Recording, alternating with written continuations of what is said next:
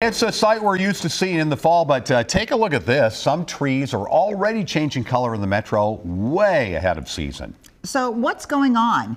Photojournalist Nick Lunemann and Marielle Mohs went to experts to find out what is happening with the foliage.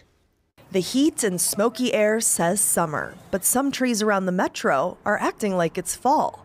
Leaves are turning red and yellow weeks ahead of schedule. They shut down early and say, let's try again next year. So if you're seeing early leaf change, it could be water levels. Diana Prison is the city forester in Golden Valley. She says maples are especially sensitive, and you may notice the change first in interior limbs with less sun. You see these different shifts, it looks a little interesting. Noticing the change requires you to get outside. And who's more outside than our friends at the farmers markets, like Nicole at her pierogi stand. There's one right next to like my neighborhood, which is just almost completely yellow.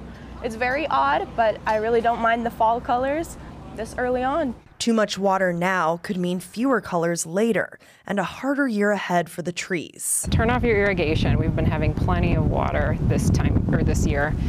So don't turning on your sprinklers, don't overwater your tree, certainly let them dry out between rainstorms. But one inch of rain per week is kind of the, the key for trees, and we've certainly been hitting that. In Plymouth with photojournalist Nick Lunemann. Marielle Mohs, WCCO News. Experts say early colors are a natural response to stress.